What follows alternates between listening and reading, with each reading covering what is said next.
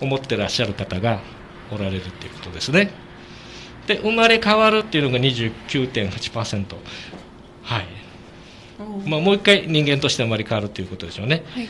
まあ、これはある意味ではあの輪廻転生とか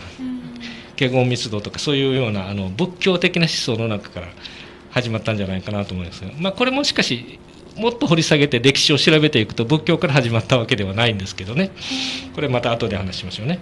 で4番目に墓にいるっていうのが9.9%ぐらい。魂は存在しないっていうのが9%ぐらいいるらしいんですよね。で答えきれないっていうことで、まあ、やっぱり考えますよね。9.1%、まあ、その他が0.9%というと、まあ、今読んだ中で2番と3番にね別の世界に行くっていうのと生まれ変わるっていうのを足したらですね53.6%っていうふうになるんで人が死んでも終わりではないということですよね別の世界に行くっていうのと生まれ変わると答えてますから、はい、えー、これが一般的な、えー、日本人で半分以上の人は、えー、来日ステージがあるっていうふうにね考えてますので、死んだら終わりっていうのは半分以上の人がいやいやそうじゃなくて何らかのものがあるっていうふうにね思ってらっしゃるっていう信じてるっていう人が、えー、半分以上は、まあ、一応はいたということが、えー、一つ挙げられます。でそういった人たちに対してですねいや宗教というのは信じているのかって 答える人っていうのは約2割ぐらいしかいないらしいんですよね。えそんな少ないですね、はい、これも何回調査しても大体変わらないっていうんですよね日本人ですよね。はい。でその一方で多くの人が、えー、墓参りしたり仏壇や神棚で手を合わせるということをやるわけですよね。それって矛盾しないですかっていうことも、まあ、問いたいんですけどね。だからお宮参りとか七五三とか初詣などは、まあ、宗教心があるないと関係なくて習慣みたいにして思ってるっていうことなんでしょうね。おそらく。8割の人は宗教を信じていないというふうに答えるというふうに言うんらしいんですけどね、はい、これらの行為を、えー、宗教的だと思ってない、まあ、ある意味での自己矛盾に陥っているのかなとも思ったりはするんですけども果たしてどうでしょうかね。どう捉えたらいいかなと思うんですけども、まあ、確かにですねあの沖縄でもある、えー、方が過去にですね調査したことがあるんですけどもあなたは、えー、ユタを買ったことがありますかっていう調査をして、あの、沖縄中を回って、えー、インタビューを取ったことがあるらしくて、何らかの宗教に属している人はほとんど買わないらしいですよね。特に、クリスチャンは絶対買わないと思いますけど、宗教心というか、まあ、もう他にはあの創価学会の人たちも豊かいはしないというふうに言ってるらしいですよね。で、自分は無神論者だという人が9割以上あのユタに頼ってるらしいです。はい。だからユタ買う人の9割は、えー、私は無神論だよっていうふうに言うらしいんですよ。自分で答えをね。だから宗教を持ってないよっていう人ほどユタを買うっていうのが、えー、結果として現れててる。これって何なのっていうことですね。おそらく何らかの基準がないということも言えるかもしれませんし、自分の中で、えー、宗教心と歌を買うっていうのは違うんだよっていうふうにね、小分けしてるっていうふうに言っても過言ではないかなと思うんですけども、まあ、こういったところもですね、まあ、いざとなった時だけは、えー、頼るし、日頃は頼らないよというような、あの中途半端な姿勢がそうなってるかもしれませんね。まあ、そういうふうにして、えー、区分けしているっていうのが、うちなんちゅうでもあるっていうね。はいまあ、そう言いながらも、えー、総選崇拝が、えー、最も多い国民とも言われてて特に沖縄はもっと群を抜いてるかなと思うんですけどね。はいで信仰の対象よりも、えー、信心深さにおいて重きを置いてるんじゃないかなというねある分析した人の、えー、コメントはそういうふうになってるらしいんですよ。だから神様仏様何でもいいんです。信心深ければ。信心深さが大切なんですというような程度のものかなと思ったりするんですけどね。はい。まあ、私たちがあの子供の頃にね、あの野球選手で、えー、稲尾っていうすごいピッチャーがいたんですよね。はい、稲尾さんっていうのはすごいピッチャーで、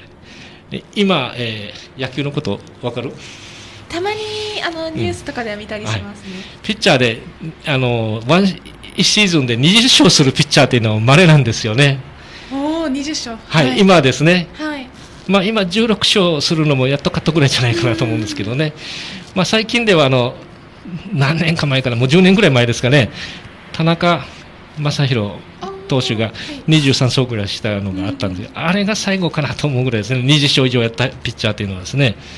でも昔はね、すごかったんですよね、この稲尾っていうピッチャーは42勝したんですよ。すごいすごいでしょ、ね、倍ですよね。だから、この人のことをね、えー、神様、仏様、稲尾様っていうふうにね、言ったんですよね、みんなね。まあ、日本人はそういったのが受けて、えー、今でもあのそういう言葉をよく使ったりしてですね、はい、えー、まあ、今年もまたあのヤクルトスワローズスワローズが、えー、2連覇を果たして昨日優勝しましたよね。はいはい。あの4番バッターのね村上、えー、選手。すごいですよね。王貞治と、えー、ホームランで55本で今並んでますよね。並んでるんですね。はい確実にもう日本記録作るだろうなと思うんです、はい、日本記録って日本人としてですね、はい、はい、記録を塗り替えるだろうというふうに言われてますけれども、まあ、この方もね村上って言いますからね村神様っていうふうにね、字をまた神様の神に、えー、なぞらえて、えー、新聞に表現されたりするっていうところが結構あるんですけどね。はい。まあ、こういったのが日本人は大好きなんですよね。はい。でも、この仏教の、えー、歴史観っていうのは、どこから始まったのかなっていうのは、ほとんどの方が分かってないんじゃないかなと思うんですね。仏教はどこから始まりました？中国とかです中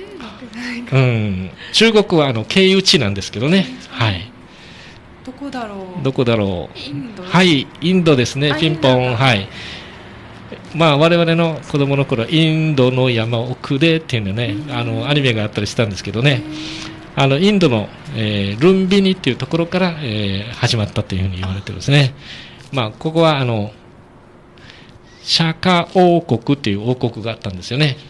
で小さな国なんですけどね、ネパールとの、まあ、国境あたりっていうふうに今で言うと言われてるらしいんですけどね、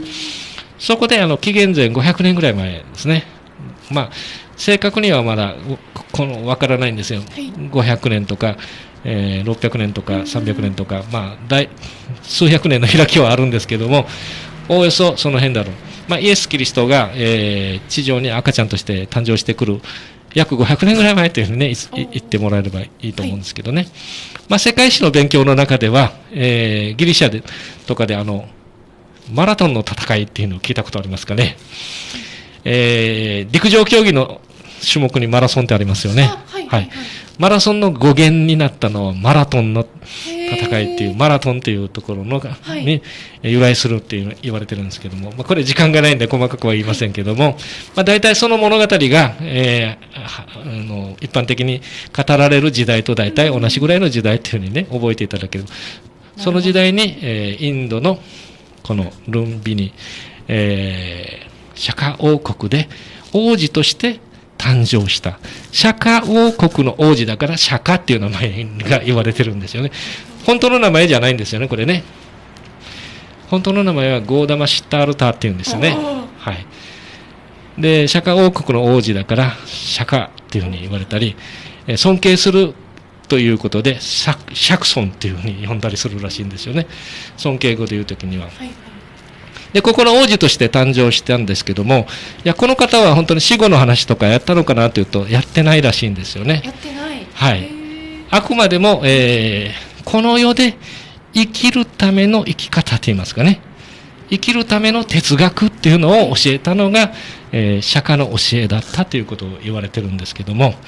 だから輪廻転生とか、華厳密度とか、はい、えー、あの世でのこととかっていうのは全く言ってないし、むしろ否定したというふうに言われてるんですよね。だから自分のお葬式もするなよとまで言われて、固く禁じたというふうに言われてて、直弟子たちは、えー、釈迦の葬式はやってないと言われてますね。はい。じゃあなんでこうなったのかということですよね。これから、えー、釈迦の入滅後500年後ぐらいから、えー、仏教の権威づけをしたくて、もう、もう後の弟子たちが、えー死後の、えー、物語を創作してきたというふうに言われてるんですね。で、インドにはたくさんの、あの、宗教が混在してましたので、やっぱ取り入れやすい環境にあったと思うんですね。バラモン教とかね、はい、えー、ゾロアスター教とか、えー、聖書にもいろんな、えー、ものが出てきますよね。えー、バール信仰とか、そういったものが、えー、インドあたりに伝播したときに、ごちゃごちゃになったところをチョイスして取り入れてきて、今の、えー、仏教の土台が出来上がってくるというふうに言われてるんですね。ですから、釈迦のもともとの教えとは、似ても左ぐらいに開きが出てきているということが、えー、お分かりいただけると思うんですよね。だから、この輪廻転生というのもね、もともとはどのあの宗教が使ってたかというと、バラモン教が使ってたと言われてますね。バラモン教っていうのは輪廻転生を訴えてるんですけども、そしてもう一つ、カースト制がある宗教ですね。カースト制ってわかる？ピラミッドですかね。はい。はい、ピラミッドのように、えバラモン、クシャトリア、バイシア、シュードラ、アチュートダリットって言ってね、あのー、生まれながらにして身分が確定するということなんですよね。はい、バラモンというのは、えー、ゾーロとか、えー、祭司の人たち、で子供のもずっとその、えー、身分になるわけですね。クシャタリアというのは貴族とか王族とか、まあ、軍人も身分が高くて、あのその人たちが、えー、なる。あのそしてバイシアっていうのが、えー、商人とか農耕民族の人たちですね。シュードラっていうのが奴隷民族。奴隷の民っていうふうに言われる。でアチュートダリットって奴隷よりももっと下がいるんですよね。不可植民って言っても家畜みたいな人たちね。畜生とか、ね、まあ、こういうふうにして、えー、死んでもずっと次の代もこうだよっていうことで、身分制度が、えー、確立されて。今でも、えー、インドではそういったのが、えー、定着してるんですよね。すごいところですね。すねああいうところに生まれなくてよかったなと私、えー、思うんですけどね。身分制度があって。はい。まあそういったのが、えー、バラモン教から一部チョイスして、こういったのを仏教がまた取り入れていって、えー、仏教の中でも、あの、まあ、そういうふうに、えー、次の世代もそうなるんだよというわけではないんですけども別の捉え方で、えー、生きているんですよね、まあ、そういったのもあのあってたくさんの、えー、宗教の、えー、物語って言いますかね制度を、えー、導入してきて今日に至ってきてるっていうふうに言われますね。最近ではねあのペットも供養するっていうのが出てきたんですよね。はいはいはい、でも、畜生って言ってね、仏教のもともとの考え方は、犬と人間は、えー、天国に一緒には行けないという考え方があったんですけどね。でも、仏典にはそうは書いてないよっていう解釈をするお坊さんがまた誕生してきてですね、いやいやいやうちの、うちのお寺ではちゃんとね、そういったことを供養してあげますから、どうぞどうぞいらっしゃいっていうね、言い始めてきてるおお寺が誕生してきたっていうことなんですね。で、まあ、最近はまたあの LGBT とかそういった人たちのものを受け入れるっていうまた、えー、お寺も出てきたりとかですね、まあ、いろいろとあの手この手であの今風に受けるものっていうのが、えー、誕生してきてる、まあ、時代とともに、えー、常に変化していく宗教なのかなとかね、時代ニーズに合わせていくっていう性質があるのかなみたいなね。ところをちょっと感じたりはするんですけどね、まあ、詳しい方がいればそういったのもお聞きしたいんですけども、まあ、私が、えー、いろいろと、えー、調べたり聞いたりした範囲内ではそういったところが多いっていうのが、えー、多少感じられるな。だから宗派もいっぱいいっぱい分かれててね、似てもひなりっていうぐらい開きが出てきてるっていうところもあって大乗仏教と小乗仏教というのももう大きな開きが出てきてるということも、えー、よく耳にしますけども、まあ、この辺は私は細かく詳しくは知らないので、えー、教えていただければと思うんですけどね、まあ、そういうところから、えー、改心していった方も結構おられるんですね、えー、私のね知ってる人で仏教大学を出てクリスチャンになった方っていうのがいるんですよね。面白い人がいるもんですね。すごいですね、うんえー、大阪にあの天王寺国際仏教大学っていうのがあってですね彼は、えー、ここを受験するために何回か失敗した3回ぐらい失敗したのかなでしょうがないっていうふうに思いながらも予備テストではいい点数取るらしいんですけども、なかなか、えー、本番でうまくいかなくて、ある時、ビジネスホテルに泊まっていたら、ホテルにはギデオンの聖書が置かれていますよね。はい。はい、ギデオンの聖書を取ってですね、読んで、もう、何でもいいんですよね。神様、仏様、さっきの話じゃないんですけど、はい、とにかくイエス様にすがりましょうということになって、あの正座をして、えー、万年筆で、えー、あなたを信じますということで、あのホテルでサインしたそうなんですよね。はい。あの洗礼を受ける前にサインしなさいって書かれてますよね。はいはい、そこに彼はサインをして、えー、お祈りをして、えー、試験に臨んだら、受かったんですよって。はい。受かっちゃった。はい、受かっちゃったんですよね。ああ、ご利益あったもんですね、と思ってですね。受かった大学が、えー、天王寺国際仏教大学っていう大学だったっていうね、お話ししてましたけども、どういう大学かっていうね、まあ、あの、聖徳太子を、えー、非常に崇める大学らしいんですけどね。で、入学式。入学式にね、あ、それとあの、関西学院大学の入学式の話も聞きましたよね。あの、吉木君が言ってますよね。はい、はいはい、もう今度卒業するするのかな？はい、吉木君が言ってるところはキリスト教の大学なんで、賛美をしながら、えー、入学式があったらしいんですよね。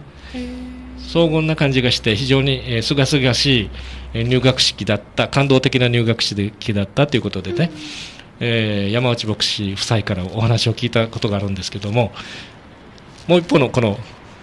同じ関西にある仏教大学では、えー、お経を唱えながら あの入学式があるということでよもや入学式でお経が始まるとは思わなかったって彼言ってたんですよね。人生終わったと思ってんですよなんで？って言ったらだってさおじいちゃんおばあちゃんのお葬式ぐらいしかこれ聞いたことないよっていうふうにね、言ったらしい。よもや自分がね、入学式で、大学の入学式で、お経で迎えられるとは想像しなかったっていうふうに言ったんですよね。でも4年間ですね、教員を目指してこの大学を卒業して、特道を受けたらしいんですよね。特道ってわかる？仏教でいう洗礼式のことですね。はい。あるんですね。はい。あの、頭を丸めるような仕草をするっていうのと、適齢ですね。水を浸している。まあ、この辺はちょっと、えー、教会の洗礼式にも少し似てるかなと思ったらそうなんですけども、はいはい、そういったところを得て、行ったんですけどね。そして生前戒名まで彼はもらったそうなんですけども、それでも、えー、キリスト教に、えー、改心して、今では講師を務めるぐらい、講演をつぐらいの、えー、レベルまで、えー、非常に聖書に詳しい方になってますけどね。まあ、そういう方もいる。まあ、やはり世の中っていうのは改心するときには改心するんだなっていうふうにね、私思ったりするんですけども、はい、いかがでしょうか。皆さんもぜひ聖書と出会ってみ、えー、見てください。人生が180度変わるときっと思いますよ。はい。それではもう一曲行ってからお話ししましょう。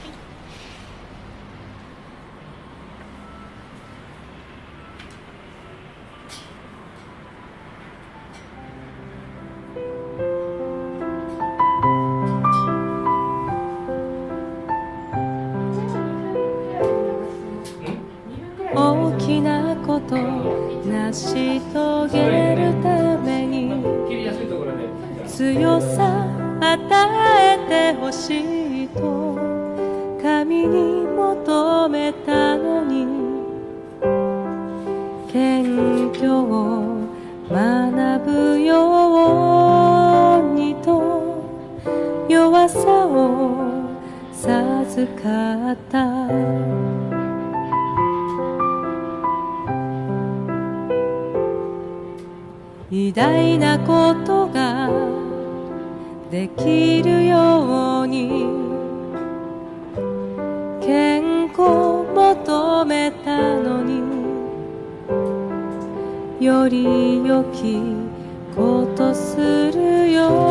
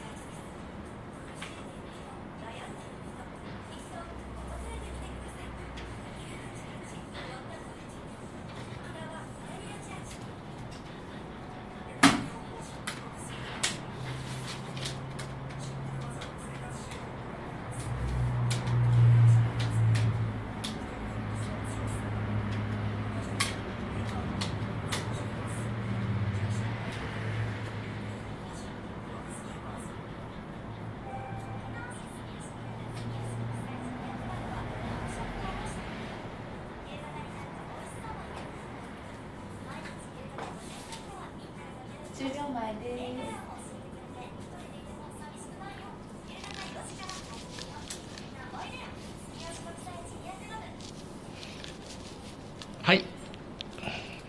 ラジオを聴きの皆さん、ハイサイ協会デビルをお届けしております。まあ、そろそろエンディングが近づいてきましたが、えー今日は、えーパウロのお話から、あの、改心についてお話をしてみたところですが、いかがでしたでしょうか？なんか質問とか、そういったのはありますか？えーっとですね、もう最終的にパウルはもうすごい偉人になったということですよね。はい。どの？あの、ヨーロッパうん。に伝領していくんですよね。はい、はい。ローマ帝国まではい。変えていったんですよね。おお国ごとも、はい、国ごと、はい、目は治ったんですか？目はね治りはしましたけども、はい。後半はやはりね、えー弱っていって体力も弱っていって、最後は首打たれて処刑されるのかな？映画の映画のシーンでもあったと思うんですけどね。そうですえーそれでも彼は、えー福音を恥とは思いませんということで、はい。まあ、安らかに処刑されていくっていうシーンが出てくると思うんですけどね、まあ、それぐらい、えーもう自分の、えーやるべき道を走り抜けていったっていうことまで書いてますね。まあえー人生をすべ、えー全てイエス・キリストに、えー捧げていったうんうん。方だと思いますね。すごいです。あんなだけなんか強く、うん。あのもうユダヤ教をはい。暴力を振るってまでもうん。守っていきたいとはいいう方が、主張していった人なんですよね。180度変わって。うん、愛の人に変わっていっすね。もうたんですね。安らかな安らかに心穏やかになれるっていうのはやっぱりすごいですね、はい。だから、世界の歴史が変わっていた人っていうふうに思っていただければと思うんですけどね。まあ、これも最後にですね、ローマ人への、え手紙のところに書いてます。私は福音を恥としません。福音はユダヤ人をはじめギリシャ人にも信じるすべての人に救いをもたらす神の力です。福音には神の義が掲示されていて信仰に始まり信仰に進ませるからです。義人は信仰によって生きると書いてある通りです。ということでですね紹介しております、まあ、パウロに、まあ、少し足元にでも あの近くなるようにですね、えー我々も、えー背筋をピーンとして、えー励んでいきたいものです。いかがでしたでしょうか、まあ、パウロ物語っていうのはね映画でも紹介されてますので機会があったらご覧になっていただければと思います。はい。それでは今日も、えー、ハイサイ協会デビルラジオを聞いてくださった皆さんに、えー心より感謝申し上げます。皆さんに、えー福音がえーいっぱいいっぱいありますようにそして平安と祝福が、えー、満ち満ち溢れますようにお祈りをしておりますこのお祈りを主イエス・キリストのお名前によってお捧げいたしますアーメンはいありがとうございましたありがとうございました。さようなら。感謝します。